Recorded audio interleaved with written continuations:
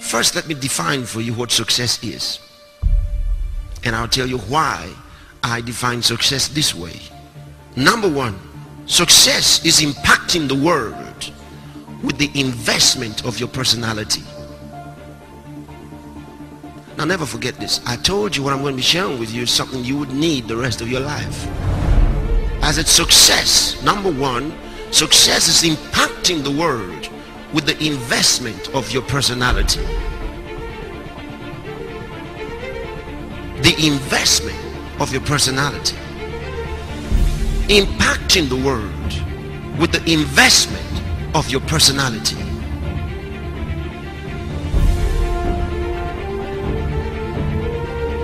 T.L. Osborn said, work on being, not on having.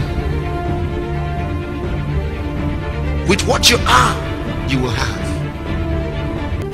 Don't work on having anything. Work on being something.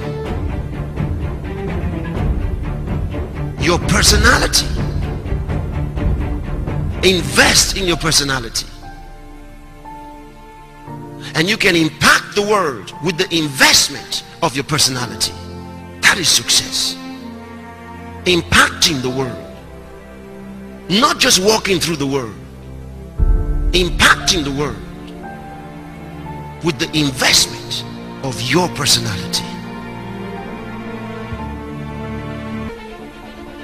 number two success is influencing the world around you to think like you and aspire to your inspiration.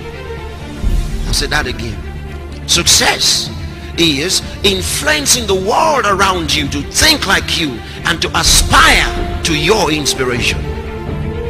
You become a success when you influence the world around you to think like you and to aspire to your inspiration. You awaken others to think like you. Why? because you've made the right investment into your personality you build your personality you've got some good thinking some good ideas and now you move to the second level of influencing the world around you to think like you. That is success. Motivate them to think like you